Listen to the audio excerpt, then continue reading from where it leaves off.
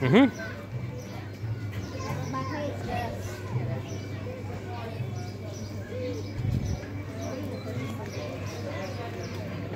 Mikor szembefordul veled, várd meg!